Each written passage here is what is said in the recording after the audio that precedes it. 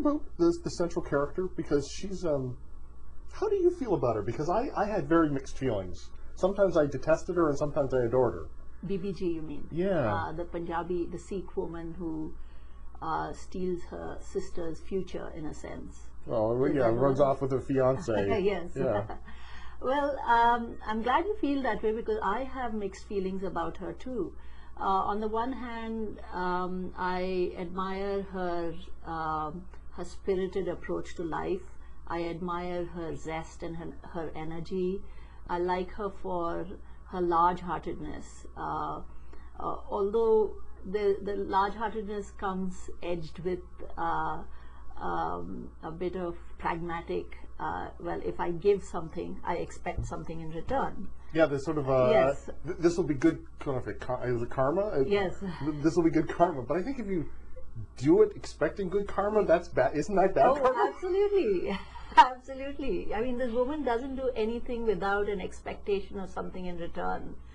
Um, she's ambitious, she's pushy, um, but she's not, she, she isn't exactly an evil person. She is like uh, a lot of people I know. I'm, I'm sure I'm like that too. I appear like that too to lots of other people. Not entirely good, not entirely bad. Um, uh, she she has grown up expecting to get whatever it is she wants by any means. Um, Partly because she's the youngest and spoiled and yes, the princess. Yes, yes, and she's just and she's been spoiled right through her in her you know her married life has been extraordinarily full of riches of all kinds because her husband adores her and spoils her silly. And she's had a good life, uh, managed to make a very good life for herself here in Canada.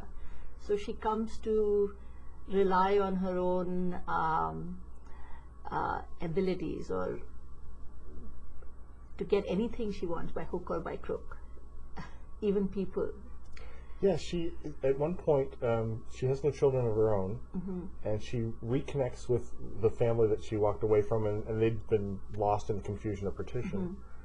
And she offers to take her nephew Mm-hmm. back so to give him an education, Mm-hmm. but basically kidnaps him. Yes. I mean, for all intents and purposes, and, uh, you know, at least emotionally. Yes, she does. Uh, but she and that family that she claims as her own isn't needn't nece- isn't necessarily uh, uh, her real family. She just decides that okay, that's it. This is how I can. Um, um, this is how I can assuage my guilt. Uh, she feels guilty uh, right through because she she she's a childless woman, and she uh, believes that her childlessness childlessness is because she had uh, committed the sin of stealing her sister's uh, the man meant for her sister, and thus condemning her sister to this sort of maybe death or whatever it is that's happened to her sister.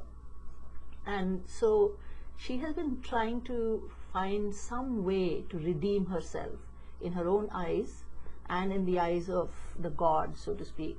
And so when she gets this opportunity to claim a family as her own, uh, the, the daughter of this lost sister, or so she assumes, she just grabs that opportunity. And it, because it is in her nature to keep grabbing at things that she wants, she also decides to, as you pointed out, more or less kidnap this boy. You know, he she takes away uh, takes him away from his parents, promising to bring him back every year, but keeps finding reasons not to. Uh, he in turn uh, grows up and um, he's a nasty piece of work too. Because it's like careful what you wish for you get it. And and he's and he falls into um, sort of extremist hands He um, he's one of those. Um, I, I, he's angry with his own parents for having sent him away with so little ceremony. He is angry that he uh, doesn't really fit into this new world he's come to.